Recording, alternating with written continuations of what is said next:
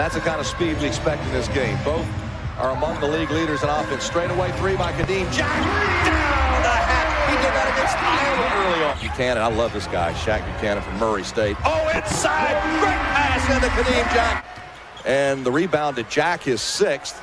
Oklahoma City needs some offense here. Lobs it up to Jack, and he finger rolls it in. The assist from Devon Hall. Or actually, this is, uh, yeah, fourth game in a row. Here's Akun Purcell, lobbed it up to Jack. Kadeem somehow caught it. The team caught that somehow. Memphis.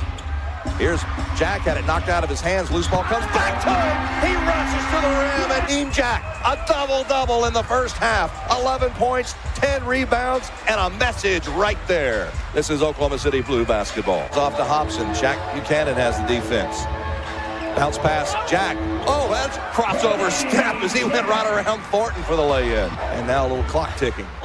Oh, screen by Jack. Hall still on the dribble. Gave it to Kadeem. And he lays it in in contact. Cofer was all over him. How did that go in? Goes behind the back on the dribble on the full-out run. Misses the lay-in. Jack has a rebound. Goes back strong. Puts it up and in. Flexes that big bicep. He goes to the line for the and one.